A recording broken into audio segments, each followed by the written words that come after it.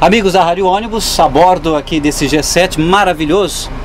Ouço o ronco, vou dar uma, acelera, uma aceleradinha para você. Veículo ligado, estacionado aqui, motor automático, muito fácil de dirigir. É a Turismo Santa Rita de Cássia, junto com você, junto com a Rádio Ônibus também. Vamos juntos! O Oswaldo, com mais de 20 anos de profissão, viu carros com câmbios muito diferentes, né, Oswaldo? Isso, perfeitamente. E agora um câmbio moderno, Volvo, aqui da Turismo Santa Rita de Cássia. O que você pode contar? O que, que, que tem que fazer para utilizar da forma adequada esse câmbio aqui? O, o correto seria você aprimor, aprimorizar, vamos dizer assim, por um técnico da Volvo, né? Vamos dizer assim, um cursinho lá rápido, né? Para você manusear da maneira que tem que ser, do jeito que pede o fabricante. E se a pessoa não tiver esse, é, nenhum tipo de conhecimento com o câmbio, se faz necessário que ele, pelo menos, no mínimo, ele venha é, ter assim uma, uma aula, vamos dizer, na teórica, né? Teórica, para que ele tenha noção de qual é o sistema, como que trabalha com, com, esse, com esse câmbio. Nesse caso aqui, ele, ele, tá no, ele tá no neutro, é isso? Isso, aqui ele está no neutro, paradinhas rápido, você joga no N, né? Automaticamente ele tem. Mostra aqui, Carol. Ele tem quatro letras. Tem o R, o N, o A e o M. O R é o significado do Ré, né? O N é neutro. O A é o automático, onde que ele vai trabalhar sozinho, né? É, mudando as marchas tanto para frente como reduzindo. E o M quer dizer manual. Você pôs no automático, não precisa se preocupar com nada, ele faz tudo sozinho. Ele faz sozinho. Ele Isso reduz. significa uma economia também, né? De combustível. Isso. Ele aí ele trabalha dentro da economia, né? Ele não tem como porque ele trabalha ali no giro, né? O giro, aquele painel ali. Ele mostra o, o giro que o carro trabalha, o motor trabalha.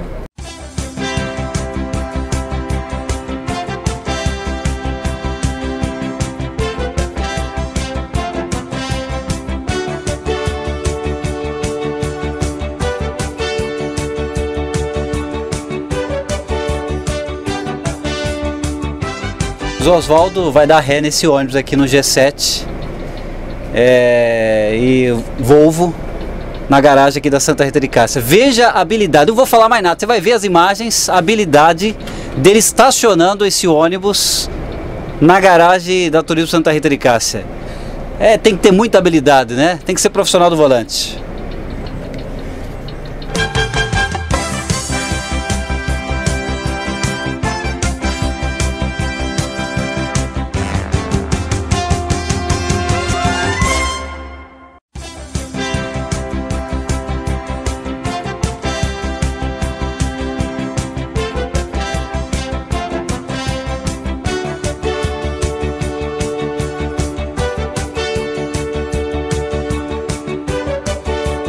Amigos, ainda aqui na Turismo Santa Rita de Cássia, motorista Oswaldo, estamos aqui a bordo de um Comil HD e onde nós estamos saindo aqui da garagem da Turismo Santa Rita de Cássia.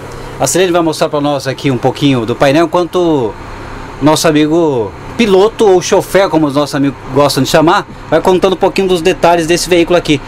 Esse aqui é outra história, né Oswaldo? Esse aqui também é automático. O que você pode contar um pouquinho desse aqui? Esse também é automático, e... só que ele é é diferente do outro, porque ele é mais longo, né? O entre-eixo é a mesma coisa, como eu dito antes, né? Só que a única coisa é que ele é mais longo, o comprimento dele. E o manuseio, câmbio, essas coisas é normal, é o mesmo.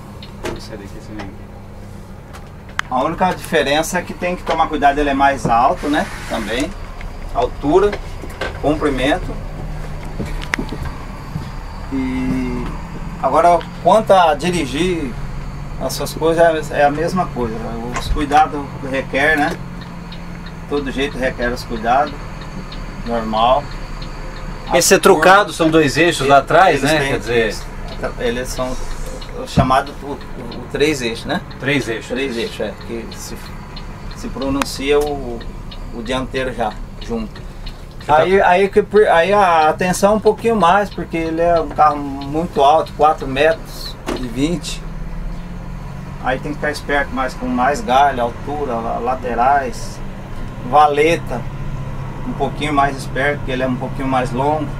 O painel já é bem diferente, tem mais instruções no painel aqui, né? O que, que você pode contar é, do painel aqui, aqui? O painel aqui ele aumenta uh, pouca coisa, não tem muita diferença não. É quase igual o outro, a única coisa que é diferente uh, os botões, né? Mas a, os significados são quase os mesmos. Que são as luzes, são o ar, são é, geladeira. Então não tem muita diferença assim em questão de funcionamento. O problema dele é que ele tem mais, mais coisas só, só isso. Não tem muita. Interessante desse veículo, Oswaldo, que ele é para dois, dois motoristas, vamos dizer assim, né? Aqui nós estamos, nós temos uma poltrona aqui. Geralmente aqui é o, é o segundo motorista, dependendo da viagem, né? O segundo motorista para fazer a reserva, é isso? Perfeitamente. Aí ele, ele tem um local para você ficar mais tranquilo, né? Descansar melhor.